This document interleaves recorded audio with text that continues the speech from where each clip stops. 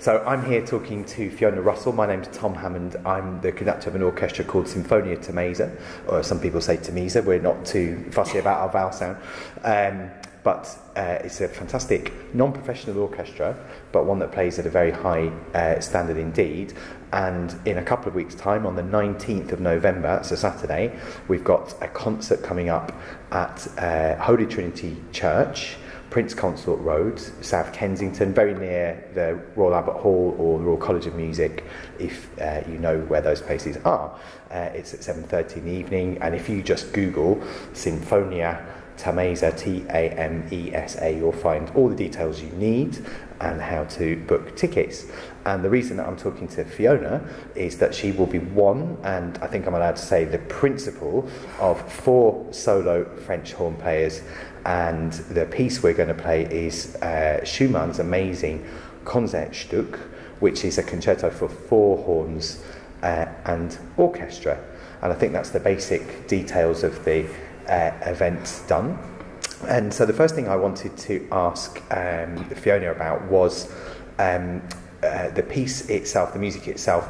Perhaps people who might not know the work, um, it's not programmed that often, might imagine a piece for four horns to be somehow something very light uh, or just purely comedic or purely fireworks of an instrument. But I just wondered what you feel about the piece of music itself.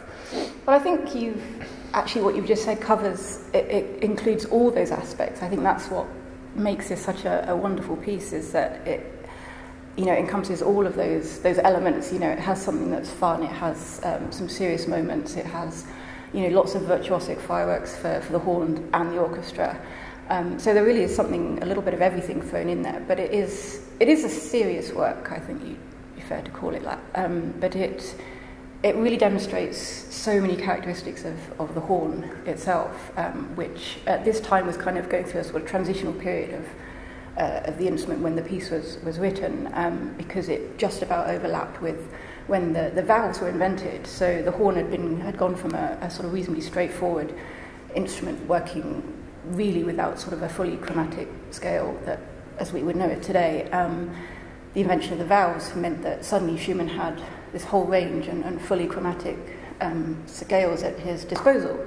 Um, not all composers, uh, it's like any, anything new. You know, some people were really excited by this and wanted to use it straight away, and some people said, oh no, no, that's not for us. Um. Brahms was writing at the same time, and he stuck with the, the natural horn for quite a long time. But Schumann uh, sort of picked it up and, and ran with it, and uh, you know we've, we've got this this amazing work as, as a result of that.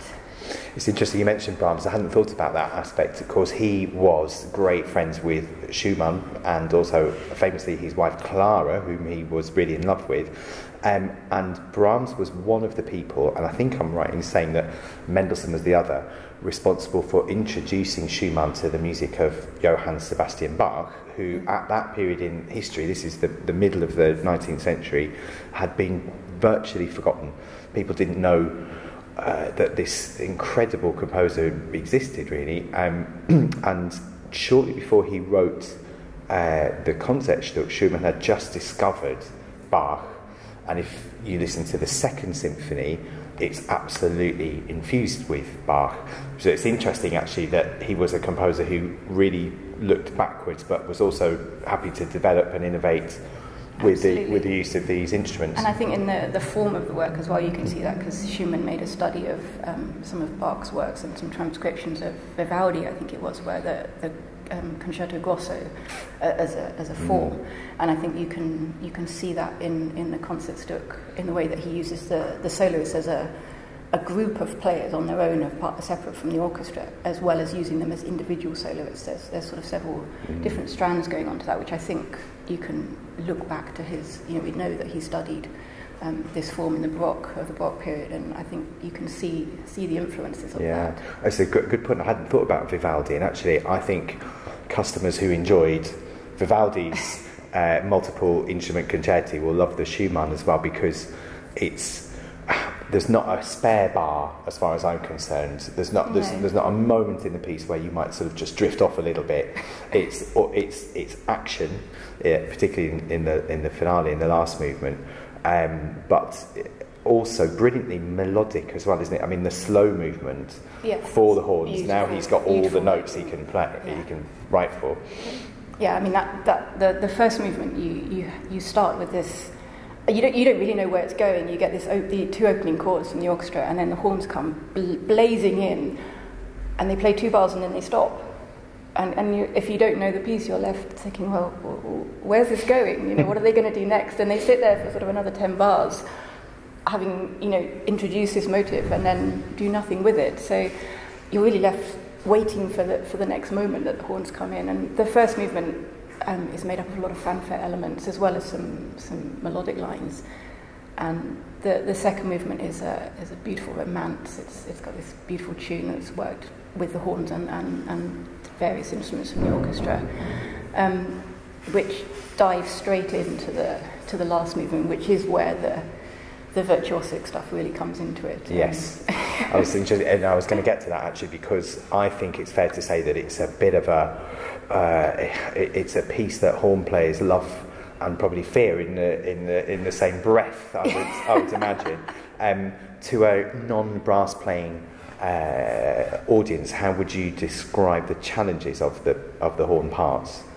Um, I think it's it's partly the way that the horns are treated. Um, I mean, you, you have you know people will know the Mozart horn concertos and, and the Strauss perhaps, and you have the horn as a solo instrument. But here you have, in effect, you've taken the section, the horn section out of the orchestra. You've put them at the front, and gone, you know, okay, let's see what you could do. And so they've taken on the role of soloists, but they're still working as a section.